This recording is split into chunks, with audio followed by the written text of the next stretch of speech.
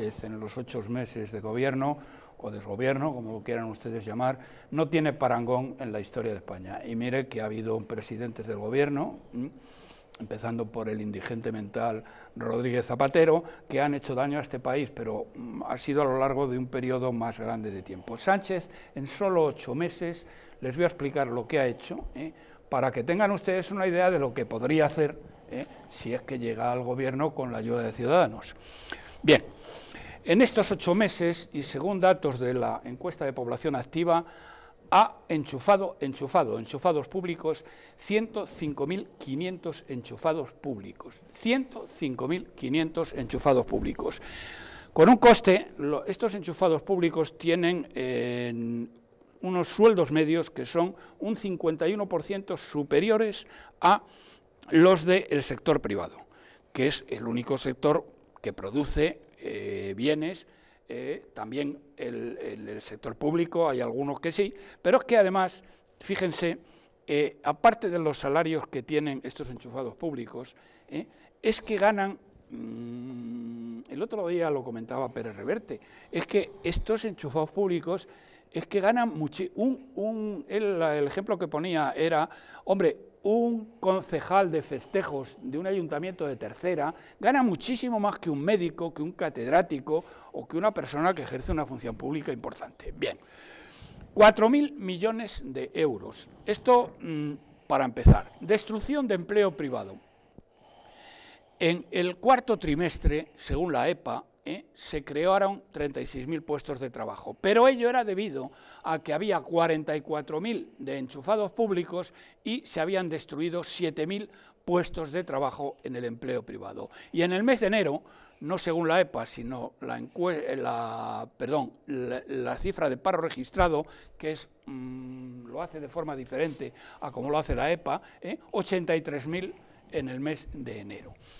Las pensiones, señoras y señores pensionistas, que les están a ustedes engañando total y absolutamente. ¿eh? Con 1.600 millones de euros se han quedado ustedes tranquilos y ya no salen a la calle.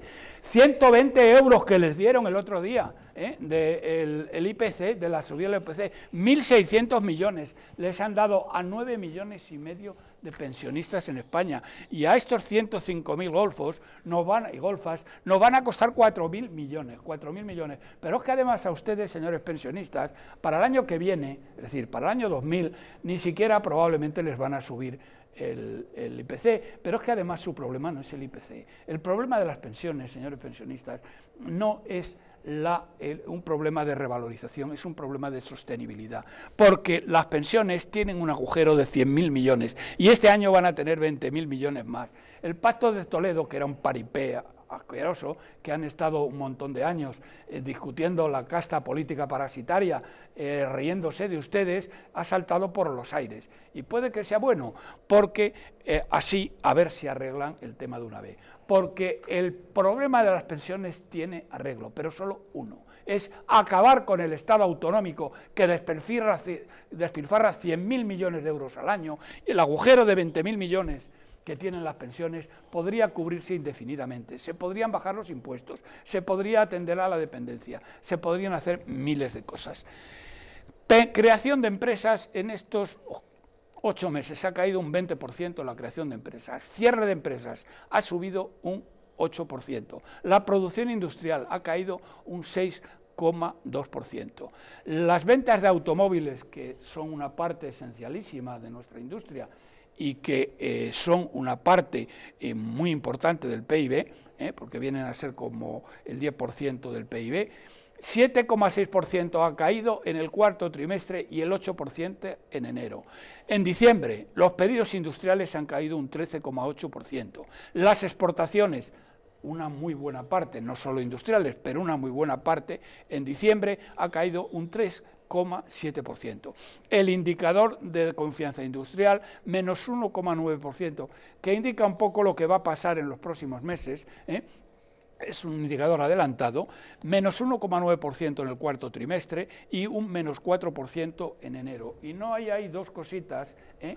de decirles que no, no sé si están incluidas, eh, pero las tengo aquí, es que la presión fiscal sobre las familias y sobre las empresas en España es una de las más altas de la Unión Europea, del G20 ¿eh? y de la OCDE. Que no les engañen a ustedes diciendo que la presión fiscal es baja, ya se lo explicaré, porque eso es absolutamente mentira. Y por último, la última línea que tenía, señoras y señores, el año que viene, mejor dicho, perdón, no, el año que viene no, este año, el año 19, según eh, la Dirección General del Tesoro, España tiene que conseguir en los mercados internacionales ¿eh?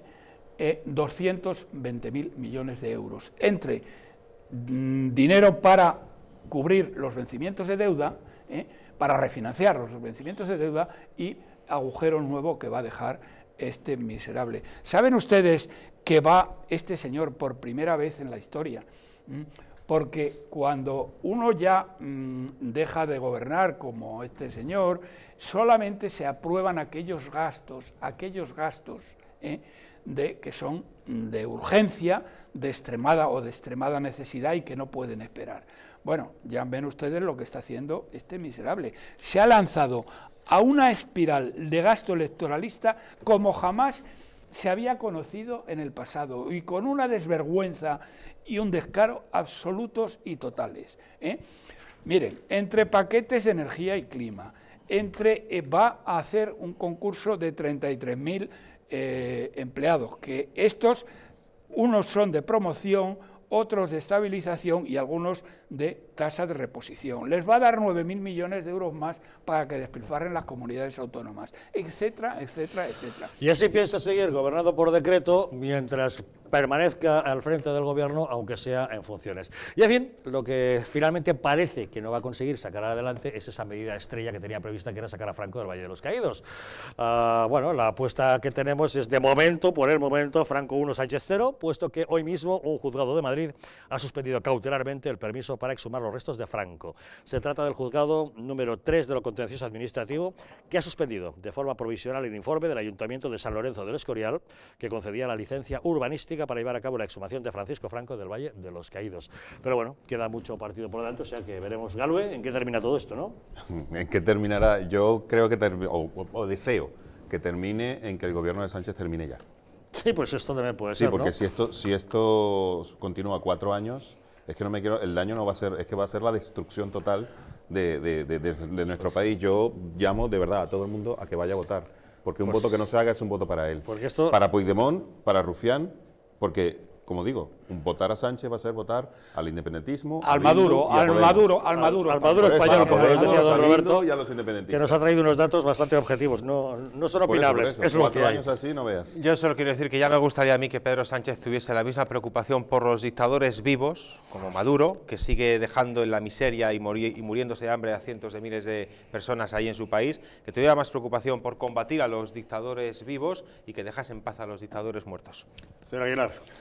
Bueno, pues yo creo que volvamos a vivir cosas que también hemos vivido ya en el pasado. ¿no? Yo creo que eh, hay un régimen que en origen nos concede una, una constitución y en esa constitución van, van parte de los males, que luego lo único que ha sido, ha reproducirse a medida que se gobernaba, se llevarse a la praxis. Pero había, había problemas que ya estaban en esa, en esa propia Constitución desde sus inicios. Don Juan Antonio Aguilar, muchas gracias por habernos acompañado. Gracias, don Roberto Centeno. Tendremos ocasión de ahondar en estos datos que hoy nos ha traído, porque habrá que hablar todavía mucho más. Yo creo que hay que hablar mucho más, entre otras razones porque está, porque está lanzando un chorreo de gasto político, de gasto eh, que, bueno, que va a recaer sobre, sobre todos los españoles y nos va a endeudar, eh, porque señoras y señores, que tengan ustedes muy claro alguna cosa, el nivel de deuda que tiene España, y algún día hablaremos de cuánto es esa deuda, eso supone ya en este momento, ¿eh? sin lo de Sánchez, que sin sumar lo de Sánchez,